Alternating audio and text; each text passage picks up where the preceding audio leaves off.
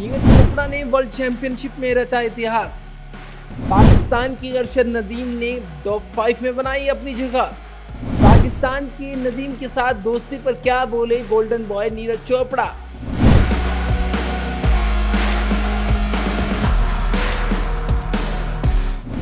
America में आयोजित हुए वर्ल्ड एथलेटिक्स चैंपियनशिप में भारत के नीरज चोपड़ा ने इतिहास रच दिया। नीरज चोपड़ा ने इस चैंपियनशिप में सिल्वर मेडल जीता, साथ ही भारत के लिए इस चैंपियनशिप में ओवरऑल दूसरा, साथ ही पहला सिल्वर मेडल जीतने का रिकॉर्ड बनाया। इसी के साथ नीरज चोपड़ा वर्ल्ड चैंपियनशिप में मेडल जीतने वाले पहले भारत के पुरुष खिलाड़ी बने। आपको बता दें कि जेवलिन थ्रो में गोल्ड मेडल ग्रेनेडा के एंडरसन पीटर्स ने जीता था। इसके अलावा आपको बता दें कि नीरज चोपड़ा ने अपने शानदार फॉर्म को जारी रखा और वर्ल्ड चैंपियनशिप में शानदार फॉर्म के साथ अट्ठासी मीटर का थ्रो किया और साथ ही सिल्वर मेडल अपने नाम किया। इसके अलावा नीरज चोपड़ा अब कॉमनवेल्थ गेम्स में भारत के लिए मेडल जीतने पर नज़रें बना रहे हैं। आपको बता दें कि वर्ल्ड चैंपियनशिप के फाइनल मुकाबले में नीरज चोपड़ा का दूसरा स्थान रहा तो वहीं पड़ोसी देश पाकिस्तान के जेवलिन थ्रोअर अरशद नदीम का पांचवा स्थान रहा। आपको बता दें कि अरशद नदीम ने भी फाइनल में अपनी जगह बनाई। साथ ही ये जानकारी देते चले की टोक्यो ओलंपिक में भारत के लिए नीरज चोपड़ा ने गोल्ड मेडल जीता था तो वही अरशद नदीम उस वक्त भी फाइनल में अपनी जगह बनाने में कामयाब रहे थे। इसके अलावा वर्ल्ड चैंपियनशिप में अरशद नदीम ने छियासी दशमलव एक छह मीटर का थ्रो किया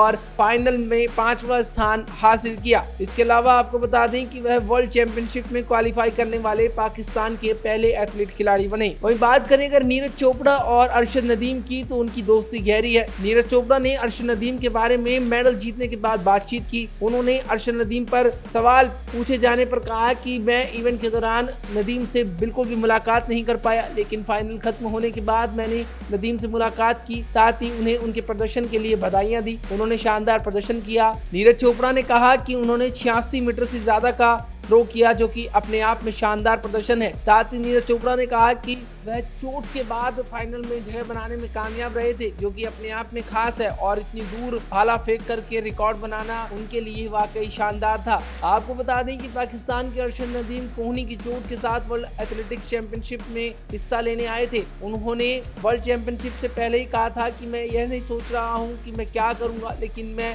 अपने सर्वश्रेष्ठ प्रदर्शन करने के लिए वर्ल्ड चैंपियनशिप में हिस्सा लूँगा। उन्होंने कहा था कि मेरे कोहनी में चोट है और ब्रिटेन में मेरा इलाज चल रहा है और मुझे उम्मीद है कि मैं अच्छा प्रदर्शन करूँगा। आपको बता दें कि नीरज चोपड़ा और अरशद नदीम की दोस्ती अच्छी है। दोनों खासे अच्छे दोस्त हैं, साथ ही नदीम नीरज चोपड़ा को अपना आइडियल मानते हैं। पिछले साल टोक्यो ओलंपिक के फाइनल के दौरान नीरज चोपड़ा का भाला अरशद नदीम के पास ही मिला था, जिसके बाद सोशल मीडिया पर लोगों ने पाकिस्तान के नदीम पर चोरी का आरोप लगाया था, जिसके जवाब में नीरज चोपड़ा ने कहा था कि नदीम मेरे जेवलिन से खाली थ्रो करने गए थे और हम दोनों अच्छे दोस्त हैं। उन्होंने किसी भी तरीके का कोई भी चोरी या फिर मेरा जेवलिन को नहीं छेड़ा। आपको बता दें कि नीरज चोपड़ा के टोक्यो ओलंपिक में गोल्ड मेडल जीतने के बाद अरशद नदीम ने उन्हें बधाई भी दी थी और कहा था कि वह मेरे आइडियल है। बहरहाल, क्या कुछ आप कहना चाहते हैं? पाकिस्तान के अरशद नदीम और साथ ही गोल्डन बॉय नीरज चोपड़ा के बारे में, उनकी दोस्ती के बारे में कमेंट करके ज़रूर बताएँ। इस वीडियो को लाइक करें शेयर करें और स्पोर्ट्स की तमाम अपडेट के लिए देखते रहिए बने इंडिया नमस्कार।